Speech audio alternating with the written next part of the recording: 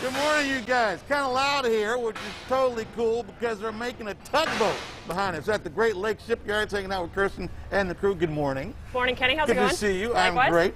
Okay, so this is. I've been excited about this since we chit chatted. These guys are literally making a tugboat. That's what we see here, right? Right. Yep. So, what part of the tugboat are we? Are they working on right now, Kirsten? So this is the back section of a tug, Uh-huh. um, and kind of upright. So the part that's on the bottom is actually the main deck, and the top part is what would be in the water. So they're putting all the paneling in um, to kind of help support structure of the bottom part, bottom back part of the boat.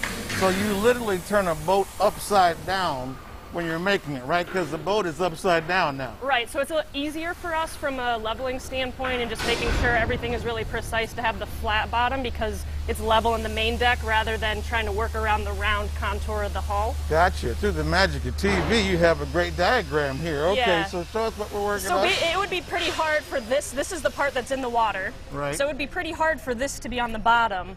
Right. And when we're building it, so the flat bottom right here, and you could see them putting all these little scantlings in and kind of the main plates. This is all the superstructure that supports the weight of the boat. And the one we'll over be- there on the right, you can Uh-huh. see like when we're when the boat's in operation. Um, the guys would be standing on the back, and that's where the line would be tied on that big H bitt right there. So this is what's on the main deck in the fab shop, and this is what's upright. and, then, and then so this, and we're putting all these little things in Exactly. right yep. now. Yep. Okay, let's come over here. That's pretty amazing. Now, so from beginning to end, how long does it take to make a tugboat?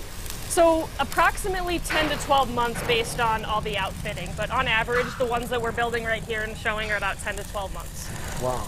Yeah. And so, um, how many guys does it take to work to to finish a tug from beginning to end? I mean, everything included. Yeah, so it's crazy to think. I mean, we've got a lot of people that are in engineering and management, new construction, superintendents, all that crew, all the guys welding. I think right now we have about 40 people doing all of the welding, electrical, outfitting, joiner work, painting. So there's a lot of components. 40 is a good rough guess. Yeah, good rough guess. And then the tugboat, we were trying to figure out from bow to stern is about how long? Six, these ones that we're looking at right Yeah. now are 64 feet. 64 feet. Yep. Wow, that is pretty amazing. Yeah. So, and in about a year, we'll have we'll have a tugboat, Start to finish, yeah. start to finish. All right.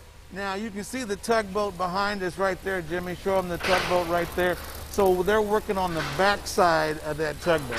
So that gives you guys perspective. Very cool. We're gonna check out some really awesome stuff here at the Great Lakes Shipyard right here in the heart of Cleveland, which is pretty cool. All right, we're gonna go back to you guys in the studio.